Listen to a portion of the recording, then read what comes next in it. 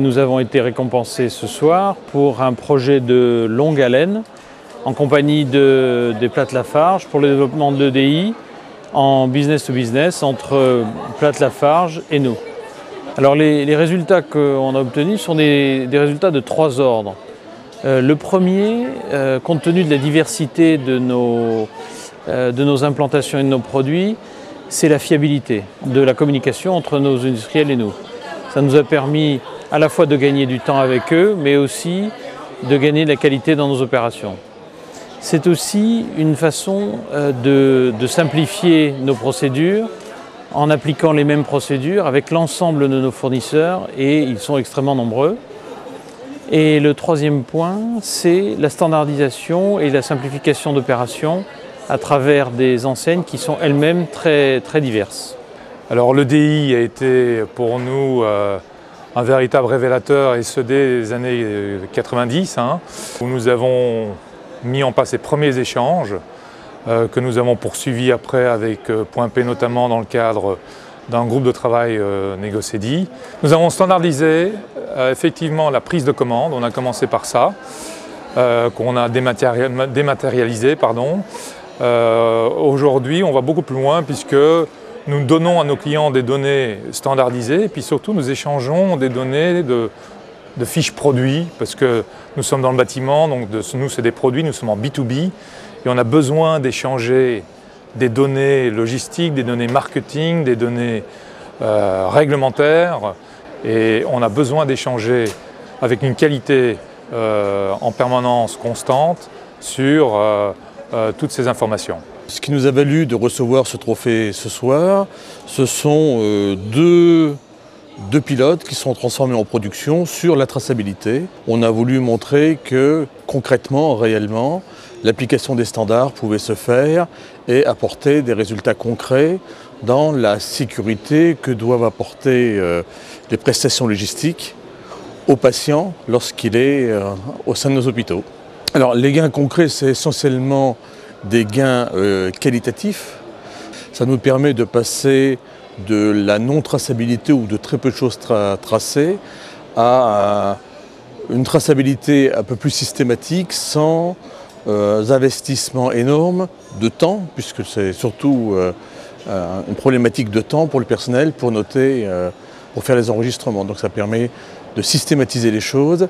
Nous allons ouvrir très prochainement, dans quelques mois, un centre de distribution qui sera euh, qui intégrera toutes ces notions de traçabilité en natif. Donc c'est pouvoir euh, concrétiser la traçabilité depuis la fabrication du produit chez le fournisseur jusqu'au lit du patient à travers notre outil, sans rupture d'information de, traçabilité, et de pouvoir euh, être un modèle pour d'autres établissements pour que ces choses-là puissent se répandre à travers le monde de la santé qui en a grand besoin. Euh, on a eu l'honneur aujourd'hui d'avoir le trophée pour les catalogues électroniques et plus particulièrement la synchronisation des données. On a mis en œuvre euh, cette euh, forme d'EDI au terme de quelques années de, travaux, d'investissement, d'engagement avec nos partenaires industriels et on a pu réaliser concrètement un projet technologique au départ qui semblait être un défi qu'on a relevé ensemble. En alimentaire, on a un niveau de maturité assez avancé puisqu'on a 600 fournisseurs qui nous répondent à près de 90% de nos appels d'offres en mode électronique. On constate que la synchronisation des données n'est qu'un moyen, n'est pas une fin.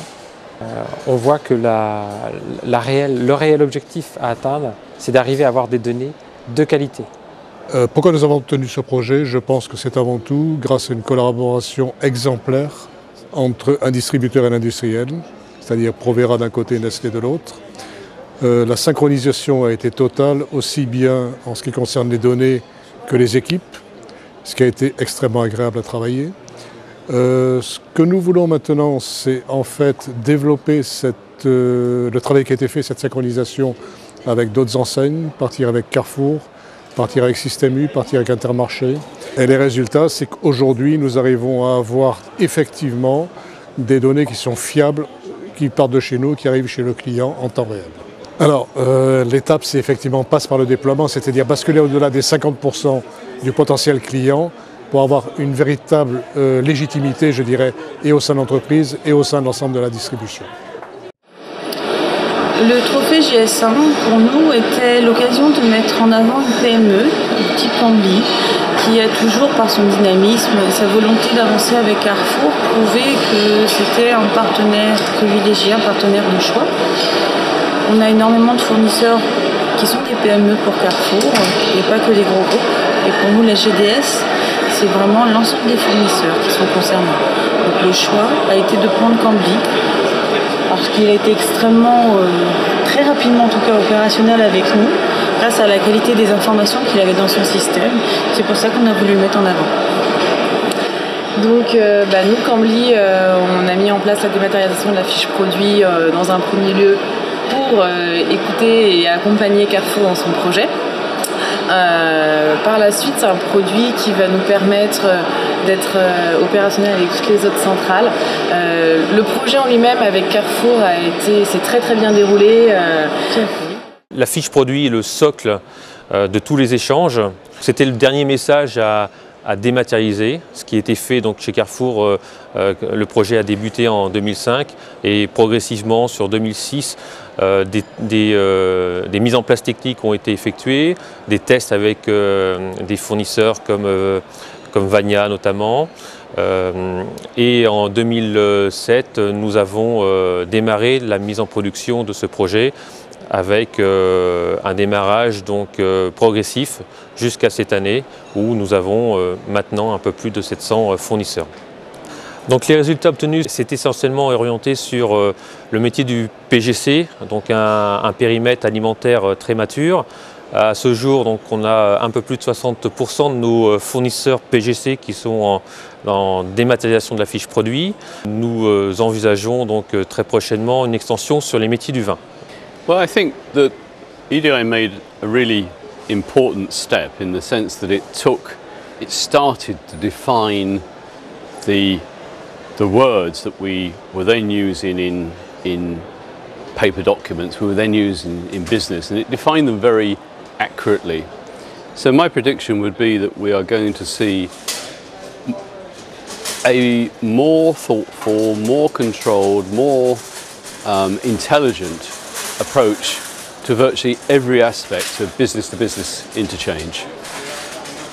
And that is exciting because it offers a double advantage. It offers an advantage to the people participating, it offers an advantage to the consumer, um, and it's a win-win game.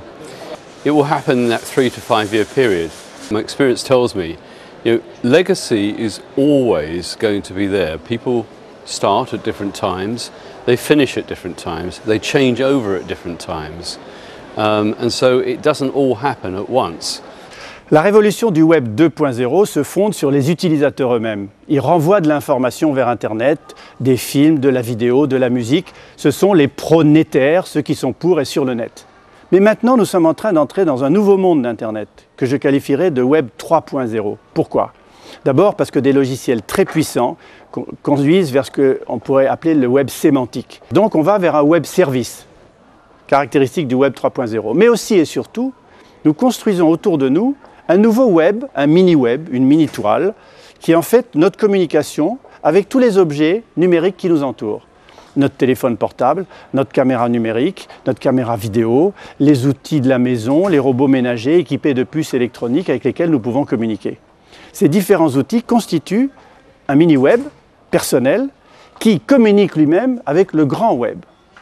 Et la communication de tous ces mondes différents, l'Internet mobile, le Web 3.0, les environnements intelligents, les uns avec les autres, construit progressivement ce qu'on appelle déjà the cloud, le nuage, the cloud computing. Le fait qu'aujourd'hui, les grands, je ne vais pas les citer, mais les grands de l'informatique qui, fabriquent des logiciels ou qui vendent du matériel, ont tous intérêt, et ils l'ont compris, à ce que tous leurs systèmes soient compatibles entre eux. Et donc, the cloud, le Web 4.0, est en train de se construire autour de nous avec des avantages énormes, mais aussi des risques, des défis et des dangers pour le futur. C'est pourquoi il faut que nous en soyons tous informés de manière à devenir des acteurs responsables.